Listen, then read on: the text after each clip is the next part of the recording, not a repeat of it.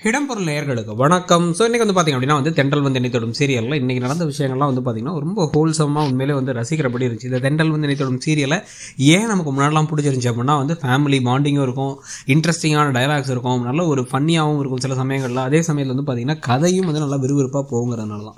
அதனால தான் நமக்கு அவ்வளோ பிடிச்சி பார்த்து சீசன் டூ வந்ததுக்கப்புறமா நிறைய பேருக்கு சுத்தமாக ஒத்து வராமல் போனதும் கூட. இன்றைக்கி எபிசோடில் வந்து பார்த்திங்கன்னா இது நாள் வரைக்கும் கமலாவையும் அந்த வீட்டையும் காமிக்கும் போது எவ்வளோ எரிச்சலாக இருக்குமோ அதுக்கு ஆப்போசிட்டாக சுடர் பாப்பா வச்சு விளையாண்ட விஷயங்கள் அவங்க வந்து சுடர் பாப்பா அந்த கமலாவோட பேசினது அவங்க வந்து நீளமாக முடியிருந்து நான் வந்து அதுக்கப்புறம் பூவெல்லாம் வச்சிருணும் அப்படின்னு ஆசைப்பட்டது. அதை வெற்றி வந்து இந்த காலத்து பெண்களுக்கு அது ஒரு ஒடுக்குமுறை அப்படின்னு அவர் சொன்னதாகட்டும். இல்லை நடுவில் வந்து சித்ரா வந்து அவங்க அப்பா யாரும் தெரிஞ்சுக்கிறதுக்கு ஆசைப்பட்டதுன்னு பல விஷயங்கள் நல்லா இருந்துச்சு. அது நடந்து முடிஞ்சதுக்கு பிறகு பார்த்தீங்கன்னா வீட்லேயும் வந்து பேசிகிட்டு இருக்கும்போது கல்யாணம் என்னங்கிறத கேட்டு விஜயமாவும் கல்யாணம் ஆகல உனக்கும் கல்யாணம் ஆகல பேசாமல் நீங்கள் ரெண்டு பேர் கல்யாணம் பண்ணிக்க வேண்டியதானே அப்படின்னு வெற்றி விஜயை சேர்த்து வைக்க சுடர் பாப்பா பார்க்க அபி ஷாக் ஆகிறதெல்லாம் வந்து பயங்கரமாக இருந்துச்சு. ஒரே ஃபன்னியாக உண்மையிலே பார்க்கறதுக்கு ரசிக்கிறபடி இருந்துச்சு. ஆனால் இதுக்கப்புறம் வந்து கதை வந்து முடிய போகுது அப்படிங்கிறனால இப்போ விறுவிறுப்பாக அடுத்தடுத்த விஷயங்கள்லாம் நடக்க போகுது. அதில் முக்கியமாக வந்து பார்த்திங்கன்னா கண்மணி மாட்ட போகிற விஷயம்.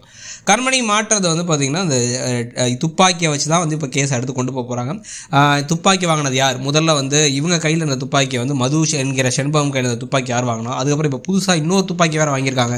அதெல்லாம் லாயர் கண்மணி தான். அப்படின்னு ஒருத்தர் சொல்ல வீடு பூந்து பார்த்தா வந்து பூஜை ரூம் மாதிரி எங்கேயோ குளிச்சுட்டு வந்த மாதிரி இங்கே வராங்க. தலையில் கட்டு போட்டு தரையில் அந்த ஈர துணியெல்லாம் கட்டு வருவாங்கல்ல அந்த மாதிரி ஈர டவலை கட்டிட்டு வந்தவங்க இடுப்பில் ஆனால் வந்து கண்ணை சொரியே இருக்காங்க. ஸோ இடுப்பில் கண்ணோட தான் வேலையை செஞ்சுட்டு இருந்தாங்கன்னா இந்த அளவுக்கு வந்து மட்டியான ஒரு வில்லியை தான் வந்து இவ்வளோ நாள் ஹைப் பண்ணி கொடுத்துருக்கீங்களான்னு நமக்கே ஆச்சரியமாயிடுச்சு.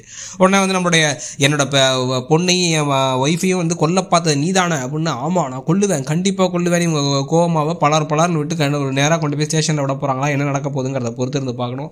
எப்படியோ இன்றைக்கி நடந்த விஷயங்கள் ப்ளஸ் இனி நடக்க போகிற விஷயங்களை பற்றி உங்கள் கருத்து என்ன சீரியல் முடிய போதுங்கிறத பற்றி உங்கள் கருத்து என்னங்கிறத சொல்லுங்கள் தேங்க்யூ